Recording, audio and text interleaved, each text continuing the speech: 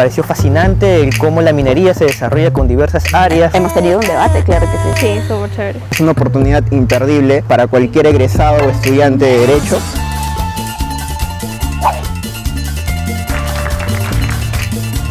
pude fortalecer mis habilidades ya que realizamos una dinámica grupal, ¿no? donde tuve la oportunidad de conocer a personas de diferentes carreras. Nos pusieron unos lentes y pudimos ver toda una mina y como flotando y pudimos ver las operaciones, en qué consistían cada una de las etapas. También me gustó mucho poder conocer a más jóvenes y egresados de las distintas carreras que comparten la pasión por la minería esa parte de gestión ambiental, de todo lo que son los trámites, lo que son concesiones, no es algo que normalmente tocamos y me pareció bastante interesante. Lo primero que vimos es un espacio donde hay un talud donde se extraen los minerales se ve todo, todo el, se ve el cielo. Me ha gustado mucho la interacción que puede tener con compañeros nuevos de otras carreras, no necesariamente del ámbito minero. Y pudimos ver de cerca cuáles son todas las etapas que abarca esta industria. Creo que eso nos va a ayudar a ampliar nuestro bagaje acerca del tema minero y el desarrollo de una minería sostenible.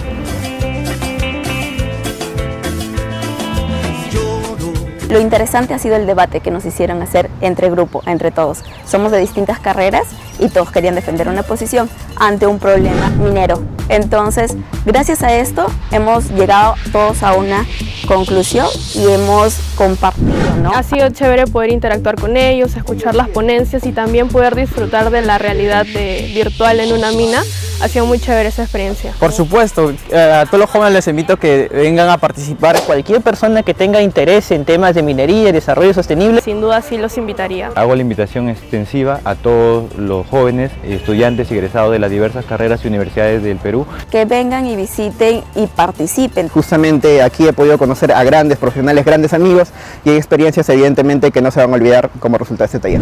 Ministerio de Energía y Minas. Compunche Perú, Gobierno del Perú.